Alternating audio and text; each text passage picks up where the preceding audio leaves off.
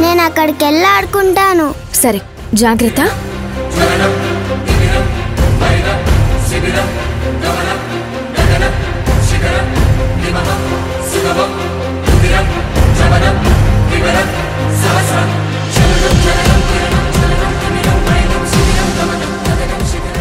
Thank you Lucky.